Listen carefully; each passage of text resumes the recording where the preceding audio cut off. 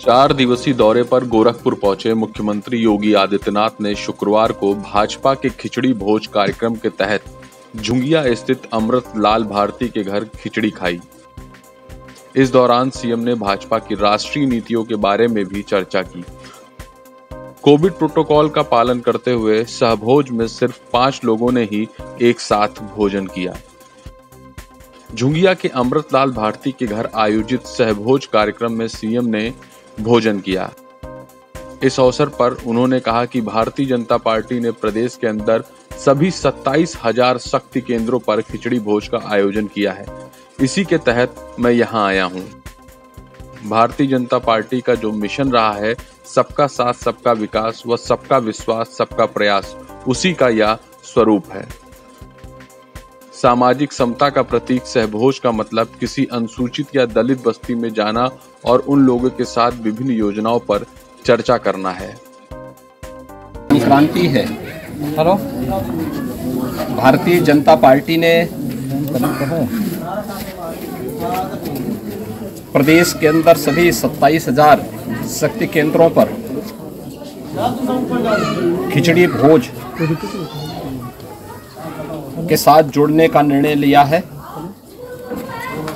और इसीलिए आज मैं यहाँ पर आया हूँ, जिसके तहत भारतीय जनता पार्टी का जो मिशन रहा है, सबका साथ, सबके विकास, सबके विश्वास और सबके प्रयास का, यह सामाजिक समता का प्रतीक सहभोज किसी दलित बस्ती में जाकर के करना, किसी अनुसूचित जाति में जाकर के करना,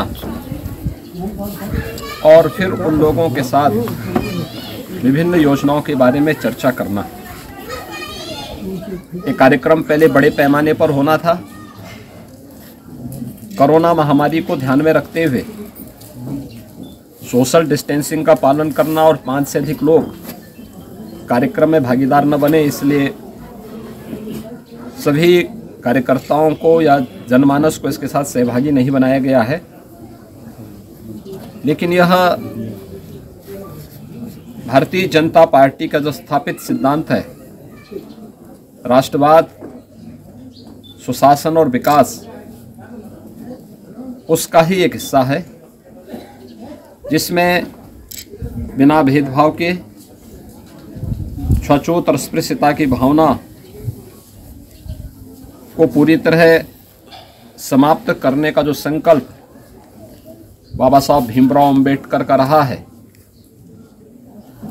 प्रधानमंत्री मोदी जी के नेतृत्व में पिछले सात वर्षों के दौरान केंद्र की सरकार ने और पिछले पाँच वर्ष के दौरान प्रदेश की सरकार ने बिना भेदभाव के शासन की योजनाओं का लाभ हर एक गरीब को, हर एक गाँव को, हर एक किसान, नौजवान, महिलाएँ और समाज के विभिन्न तबके को दिया है।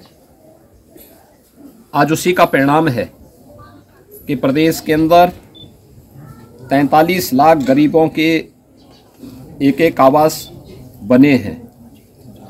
दो करोड़ इकसठ लाख गरीबों के घरों में शौचालय बने हैं।